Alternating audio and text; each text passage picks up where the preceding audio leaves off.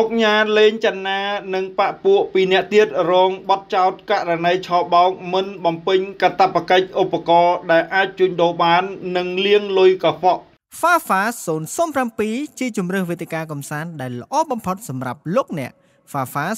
007ធំជាងគេល្អផ្ដាច់គេ តុលាការខេត្តសៀមរាបសម្រេចចោទប្រកាន់ទៅលើជនសង្ស័យមានងារជាអង្គញាឈ្មោះលេងចនា និងប៉ពួកចំនួន2នាក់ផ្សេងទៀតពីបទឆោបោកមានស្ថានទូមន្តោសបទមិនបំពេញកាតព្វកិច្ចឧបករណ៍ដែលអាចជួញដូរបាន និងបទល្មើសសម្អាតប្រាក់នេះបើយោងតាមសេចក្តីប្រកាសព័ត៌មានរបស់អាយកាអមស្លាដំបងខេត្តសៀមរាប កាលពីយប់ថ្ងៃទី13ខែមីនាឆ្នាំ2024អ្នកនាំពាក្យអាយកាអមស្លាដំបងខេត្តសៀមរាប បញ្ជាក់ថាក្រោយបញ្ចប់ការស្ដាប់ចម្លើយពិនិត្យផុសតាង និងឯកសារពាក់ព័ន្ធនានា នៅក្នុងសំណុំរឿងតំណាងអាយកាបានសម្រេចធ្វើការចោទប្រកាន់ទៅលើជនសង្ស័យឈ្មោះលេងចនាភេទស្រីអាយុ36ឆ្នាំជាអគ្គនាយិកាឈ្មោះច័ន្ទឃឹមភេទប្រុសអាយុ30ឆ្នាំ ជាអគ្គនាយករង និងឈ្មោះផុនសាមៀនភេទប្រុសអាយុ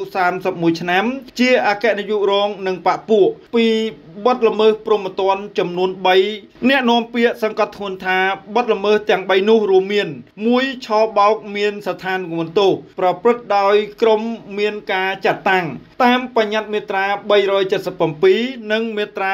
380នៃក្រមព្រហ្មទណ្ឌ 2មិនបំពេញកាតព្វកិច្ចឧបករណ៍ដែលអាចជួញដូរបាន ចេញមូលវទានបត្រគ្មានសាច់ប្រាក់តាមបញ្ញត្តិមាត្រា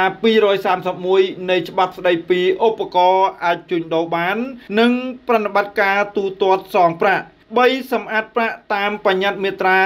38នៃច្បាប់ស្តីពីការប្រឆាំងការសម្អាតប្រាក់និងហិរញ្ញប្បទានភេរវកម្មជា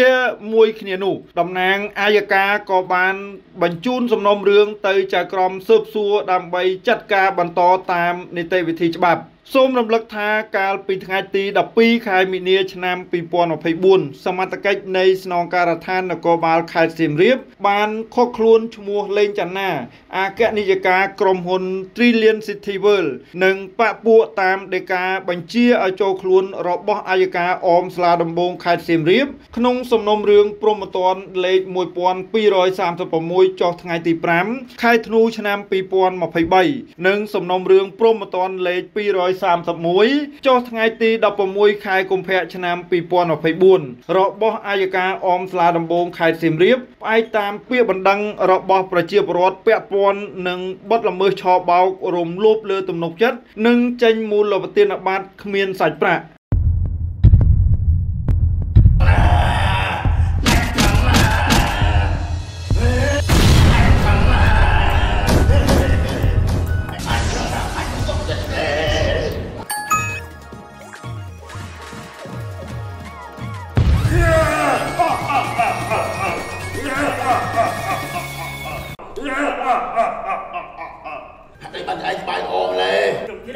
ពីបាបា07ដងស្រួលដាក់ស្រួលខ្ញុំលេងបិទឆ្នាំបិទសុវត្ថិភាពគ្មានហានិភ័យទេដាក់5ដុល្លារឆ្នាំ50ដុល្លារខ្ញុំចាប់តែមួយទីតាំងទៅសម្រាប់ការដល់ប្រាក់បានមួយពុតរបស់កើមែនអត់យ៉ា